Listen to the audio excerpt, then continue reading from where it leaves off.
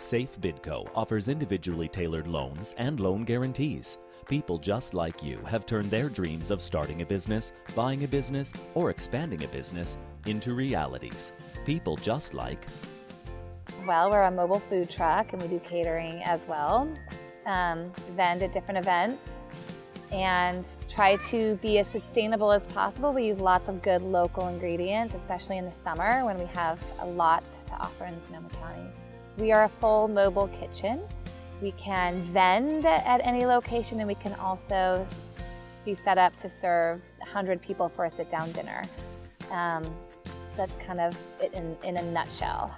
Before this, I was um, working in restaurants um, and I had a small catering business as well as working as a private chef, which I'm still doing.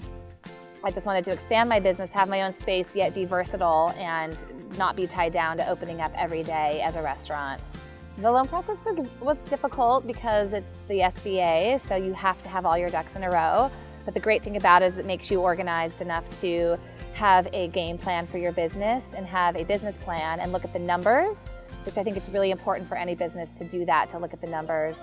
And working with Safe Bidco was great because A, they were the only ones who believed in me, and B, they really guided me through the process in determining, or in guided me through the process in um, the loan application and what they needed to see. They helped me from point A to point B. They guided me, so I felt like I had an ally the whole time and not somebody wanting me to fail.